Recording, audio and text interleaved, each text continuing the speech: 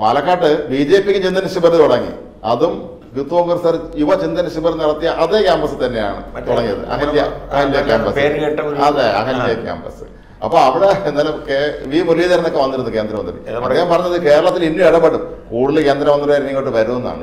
മൊത്തം അന്വേഷണമായിരിക്കും ജയശങ്കർ പോയതിനു ശേഷം ജയശങ്കർ വന്നതുപോലെ. വന്നതുപോലെ എല്ലാവരും വരും. പരിശോധിച്ചു. ജയശങ്കറിനെ വാലും ചുരട്ടി ജയശങ്കറിനെ പിന്നെ ഓടിച്ചു പിണറായി. വാലും ചുരട്ടിയാണ് ജയശങ്കർ ഓടിയത്. ഇനിയിപ്പോ അടുത്ത മന്ത്രി വരും. ഇനി വാൽ ചുരുട്ടാതെ അടുത്ത മന്ത്രി എന്നല്ല പറഞ്ഞത്. കേന്ദ്രമന്ത്രിമാർ മന്ത്രിമാർ. ഞാനല്ല കേന്ദ്രമന്ത്രി ആര് മുരളീധരനാണ് എല്ലാ ഞായറാഴ്ചയും വരുമല്ലോ. ഏ? എല്ലാ ഞായറാഴ്ചയും അദ്ദേഹം വരുമെന്നായിരിക്കും അതെ അതെ. പറഞ്ഞത്. പുള്ളി പറയുന്നത് ഇനിയും വരും. ഞങ്ങൾ ഇനിയും വരും. ഞങ്ങൾ ഇവിടെ പരിശോധിക്കും. ഇവിടെ മൊത്തത്തിൽ അഴിമതി എന്നാ പറയുന്നത് കേന്ദ്രാവിഷ്കൃത പദ്ധതികൾ നടപ്പാക്കുന്നതിലെല്ലാം ക്രമക്കേടുകളും സ്വജനപക്ഷപാതവും.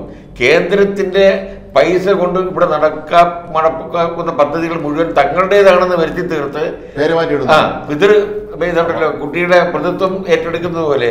ഇതെല്ലാം പിണറായി ഏറ്റെടുക്കുന്നു. അതുപോലെ തന്നെ ഞങ്ങൾ ടൺ കണക്കിന് അരിയാണ് മാസം തോറും തരുന്നത്. ആ അരി പോലും പുറത്ത് കാണിക്കാതെ ഇവരെ കിറ്റാക്കി വിടുകയാണ് എന്ന് പിണറായി- വിഷമിക്കുമല്ലോ? വ- പക്ഷേ വളരെ പ്രയാസപ്പെടും കാരണം പറയുന്ന അവസാനം മുരളീധരൻ അവസാനം അവസാനം പിണറായി ചോദിക്കും അരി എവിടെ? തുണി എവിടെ? പറയൂ പറയൂ. സർക്കാരെ. നടക്കും മുരളീധരാന്ന് പറയും ചോദിക്കേണ്ടി വരും. കാരണം മുരളി പറയുമ്പോൾ അതിനകത്ത് കഴപ്പുണ്ടാവും.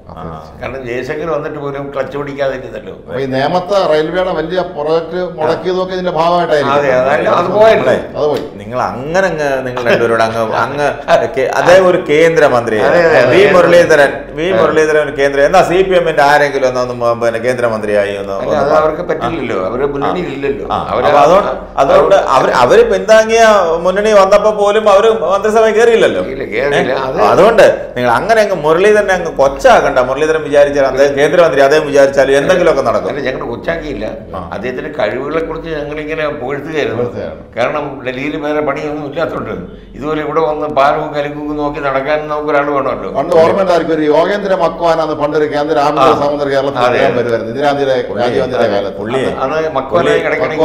പുള്ളി- വിദേശകാര്യ സഹമന്ത്രിയാണ്. ഈ വിദേശത്തൊക്കെ പോകുമ്പോൾ മാധ്യമ പ്രവർത്തകരെ കൂടെ കൊണ്ടുവന്നിട്ടുണ്ട്. അതിനകത്തൊക്കെ ചിലപ്പോൾ ഇങ്ങനെയൊക്കെ പറഞ്ഞ അദ്ദേഹം പിന്നെ അത് പരിഗണിക്കത്തില്ല. നിങ്ങളെയൊക്കെ കൂടെ കൊണ്ടുപോകും നിങ്ങളെയൊക്കെ. അദ്ദേഹം പോയതിനേക്കാൾ കൂടുതൽ രാജ്യങ്ങളിൽ ഞാൻ പോയിട്ടുണ്ട്. അപ്പൊ അതുകൊണ്ട് ഒരു വിദേശ യാത്രയൊന്നും നമുക്ക് ആ ഒരു- ആ ഒരു മോഹമേ ആ ഒരു മോഹമേ അപ്പൊ പിന്നെ അപ്പൊ പിന്നെ നിങ്ങളെ ഏത് രീതിയിൽ നിങ്ങളെ വശത്താക്കും? അല്ലെ വശത്താക്കണത് നമ്മളെന്തിനാ വശത്താക്കണതിന് അയാളുടെ കാര്യം പറയട്ടെ. ഒരു ഗവൺമെന്റിനെ ചീത്തയാക്കാൻ വേണ്ടി ഒരു സംസ്ഥാന സർക്കാരിനെ നാ പിന്നെ ജനങ്ങളുടെ മുമ്പിൽ ആക്ഷേപിക്കാൻ വേണ്ടി ഇങ്ങനെ ഓരോന്ന് വന്ന് വന്ന് പറയുന്നതിന്റെ ആ ഒരു സാങ്കത്യ ഇതാണ് നമ്മൾ പറയണത്. അല്ലാതെ വേറെ ഒന്നുമില്ല ഇപ്പം നമുക്കിപ്പോൾ ഏത് ഗവൺമെന്റും ഒന്നുപോലെ ഉള്ളൂ.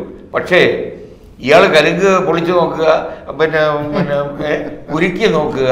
പണ്ട് കർണാകരൻ മന്ത്രിസഭയിൽ അന്ന് അച്യുതാനന്ദൻ പോയി കുത്തി നോക്കിയിട്ടുണ്ട്. കരുണാകരൻ പോയി കുത്തി നോക്കിയിട്ടുണ്ട്. അപ്പം അതൊക്കെ ആകാം. അതാകാം പിന്നെ അച്യുതാനന്ദന് മൂന്നാറിൽ പോയി.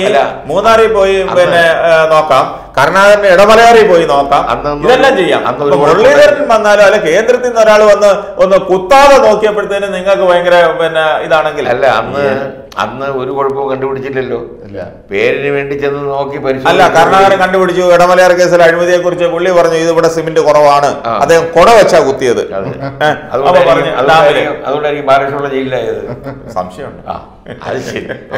അപ്പൊ അങ്ങനെ ഒരു കൊട്ടാര കേന്ദ്ര കേന്ദ്രമന്ത്രിയുടെ എല്ലാം അന്വേഷിക്കാൻ വരുമ്പോഴേ കേന്ദ്ര ധനകാര്യ മന്ത്രിയെ കൂടെ ഇവിടെ കൊണ്ടുവരണം. തൃശ്ശൂർ കൊണ്ടുപോയിട്ട് കൊടകരയ്ക്ക് അടുത്ത് ഒരു കുഴൽപ്പണ കേസ് പണ്ട് നടന്നിട്ടുണ്ട് കുറച്ചാളും. അത്. അതെന്താന്ന് കൂടെ ഒന്ന് അന്വേഷിക്കണം. അതെ അതെ. അത് അതെ. അതും കൂടെ അന്വേഷിക്കണം.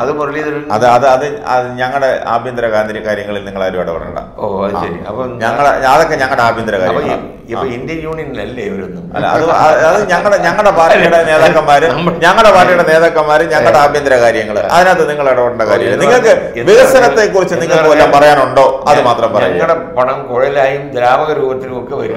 അതിന് നിങ്ങൾക്ക് ഞങ്ങളുടെ പണം ഞങ്ങളുടെ പോലീസ് ഞങ്ങളെ പിടിച്ചു. അത് നിങ്ങൾക്ക് എന്താ കാര്യം? ആ, അത് ഇ ഡി പിടിച്ചിട്ടില്ല. ഇ ഡിക്ക് കൊടുത്തിട്ടില്ല. ഇടപെടുന്ന ലക്ഷണം കാണുന്നില്ല. അപ്പൊ? എന്തായിരുന്നാലും ഒരു കാര്യം മുരളി വന്നതുകൊണ്ട് ഒരു ഗുണമുണ്ട്. സംസ്ഥാനം രക്ഷപ്പെടും. ഈ പിണറായി വിജയന്റെ ഏഹ്, ജനാധിപത്യ വിരുദ്ധ കാര്യങ്ങളെല്ലാം പുറത്തു കൊണ്ടുവരും. അഴിമതി കൊണ്ടുവരും. സ്വജനപക്ഷപാതം കൊണ്ടുവരും. എല്ലാ തരികിട ഏർപ്പാടുകളും ഞാൻ ആലോചിക്കുകയായിരുന്നു. പിണറായിയെ പിടിച്ച് അകത്തിടുമോ? അല്ല അല്ല അതിന് സാധ്യല്ല കാരണം എന്താ ഇതെല്ലാം അടിച്ചു മാറ്റി കഴിഞ്ഞാലേ അവരുടെ അവരുടെ വികസനങ്ങൾ മൊത്തം അടിച്ചു മാറ്റി അവരുടെ അരി അടിച്ചു മാറ്റുന്നു അവരുടെ. കൊണ്ടുവരുന്ന അവരുടെ പദ്ധതികൾ മൊത്തം അടിച്ചു മാറ്റുന്നു. അപ്പൊ പിന്നെ ഇനി പുള്ളിയെ ഇനി. പിടിച്ച്. സെൻട്രലിലെങ്ങാണോ വിടും അല്ലെങ്കിൽ തീകാർ ജയിലിലെങ്ങാണോ കൊണ്ടുവിടുമോ കാരണം എന്തറിയോ മോഡിയും പിണറായിയും തമ്മിൽ വളരെ വ്യക്തിപരമായ നല്ലൊരു അടുപ്പം. അപ്പൊ പിന്നെ ഇവരൊക്കെ പിന്നെ ഇങ്ങനെ പറയുന്നത്? അത് കുറെ ഇനം പേച്ചുകൾ ഇറക്കി വിട്ടിട്ടുണ്ട്. നിങ്ങൾ ഇങ്ങനെ പറഞ്ഞു നടന്നെന്ന് പറയും. അതേസമയം അവർ തമ്മിൽ നല്ല വ്യക്തിബന്ധമുണ്ട്. നല്ല സൗഹൃദ ബന്ധത്തിലാണ് അവർ അത് അവിടെ ബി ജെ പി എന്നോ പിന്നെ സി പി എന്നുള്ളതല്ല ഒരു മുഖ്യമന്ത്രിയും ഒരു പ്രൈം മിനിസ്റ്ററും എന്നുള്ള നിലയിലുള്ള ബന്ധം അവർ തമ്മിൽ കാത്തുപിടിക്കുന്നുണ്ട് കാത്തുസൂക്ഷിക്കുന്നുണ്ട്. ഇവിടെ- മുഖ്യമന്ത്രിയും പ്രതിപക്ഷ നേതാവും തമ്മിലുള്ള ബന്ധം പോലാണോ അല്ല അത് വേറെ ഇത് വേറെ. കാരണം ഇവിടുത്തെ പ്രധാന ശത്രു ആരാ? കോൺഗ്രസ് ആണ് പ്രതിപക്ഷ നേതാവാണ് സി പി എമ്മിന്റെ. പ്രതിപക്ഷ നേതാവാണ് പ്രതിപക്ഷ നേതാവ് പ്രതിദാനം ചെയ്യുന്ന പ്രസ്ഥാനം. ഇവിടെ സി പി എമ്മിന്റെ പ്രധാന ശത്രു ബി ജെ പി അല്ല. കോൺഗ്രസ് ആണ് കോൺഗ്രസിനെ തകർക്കുക എന്നുള്ളത് സി പി എമ്മിന്റെ ഒരു പിന്നെ ബി പിന്നെ പിക്ക്? ബി ജെ പിക്കും അതാണ് ആവശ്യം. ബി ജെ പിയോടും B J P BJP Shikhandi Shikhandi Shikhandi എന്ന് ബി ജെ പിയും പിണറായി വിജയനോടും സി പി എമ്മിനോടും പറഞ്ഞിരിക്കുന്നത് ഇവനെ ഒന്ന് നിലപ്പിടിച്ചാക്കി താന്നാ പറഞ്ഞിരിക്കുന്നത്. എന്നാലേ അവർക്ക് വരാൻ പറ്റും. അവർക്ക് അവർക്ക്. അപ്പൊ അതുകൊണ്ട് അവർ തമ്മിലുള്ളൊരു ഐക്യം എപ്പോഴും ഉണ്ടാവും. അത് പിന്നെ അടുത്ത അടുത്ത അങ്ങനെ ലോക ഉണ്ടെങ്കിൽ പിന്നെ മുരളീധരൻ പിന്നെ ഇത് പറയണ്ടല്ലോ. അടുത്ത ലോകസഭ അങ്ങ- തെരഞ്ഞെടുപ്പ് അങ്ങനെ അതൊക്കെ എന്തിനാ മുരളീധരൻ ഇതൊക്കെ പറയുന്നത്? നാക്കെടുത്ത പിണറായിക്കെതിരായിട്ടും ഈ സർക്കാരിനെതിരായിട്ടുമാണ് മുരളീധരൻ പറയുന്നത്. അല്ലത് അങ്ങനെ പറയാനൊക്കെ ഉള്ളൂ. കാരണം മോളിത്തട്ടിലെ തട്ടിലെ പിന്നെ ബന്ധമാണ്. ബന്ധം താഴോട്ട് വരത്തില്ല. വരില്ലല്ലോ അന്തർധാര, അന്തർധാര. അന്തർധാര. അന്തർധാരയുണ്ട്. അടി ഒഴുക്കെന്ന് പറയും. അപ്പൊ അതുകൊണ്ട് അപ്പൊ ചുരുക്കത്തിൽ വി മുരളീധരൻ പറയണം. വി മുരളീധരൻ പിന്നെ ചൂണ്ടിക്കാണിക്കണം. വികസനങ്ങളെല്ലാം പിണറായി അടിച്ചുകൊണ്ട് പോയത്. കേരളത്തിൽ എന്ത് നടക്കണമെന്ന് തീരുമാനിക്കേണ്ടത് മുരളീധരൻ.